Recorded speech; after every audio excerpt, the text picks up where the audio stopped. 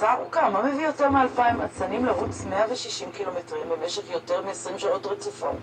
יש גם כאלה, מרוץ השליחים הגדול בישראל מהנגב לשפלת, יהוד, לשפלת יהודה הוא האתגר הגדול של חובבי הריצה. אמיר גרה עם מי שלא מפסיקים לרוץ.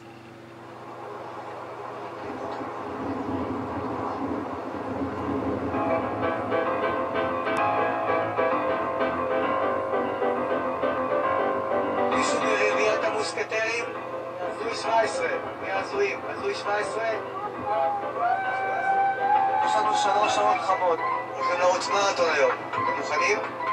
זו חוויה חצי... תסיימו? שלוש, ארבע.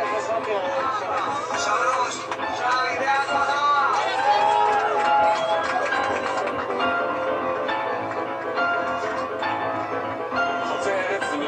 מרוץ שליחים ואולטרה של ישראל.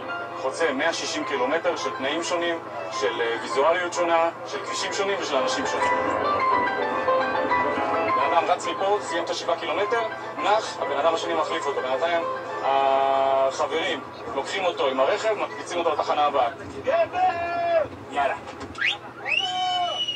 הטייצות של השליחים התחילו לצאת עכשיו, והם אמורים להגיע מלפנות בוקר של יום שישי, שזה משהו כמו עוד איזה 20 שעות, עד יום שישי ב-12 בצהריים. תן לשם, תן לשם, שם,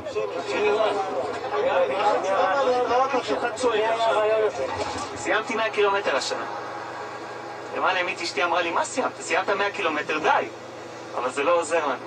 אנחנו רוצים ללכת ל-160 ול-250 ול... אין סוף. אני לא רוצה להעליב אותך, אתה- אתה רץ? אני רץ. אני נכה צה"ל. הכל דפוק, הכל דפוק, ואני רץ. תחכה לי מחר בבוקר פה. שמע, אני, אם אתה מגיע לקו הסיום... מגיע, הוא מגיע, הוא מגיע. וואלה, וואלה, וואלה, וואלה, אתה זלזל- אתה זלזלת עכשיו. אני רוצה להגיד לך, אתה זלזלת עכשיו, אני רוצה להגיד לך.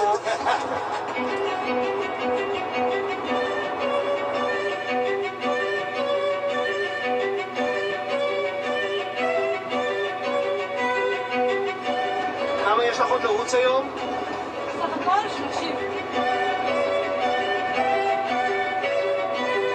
יש כוח להמשך? אה, אין ברירה, שילמתי.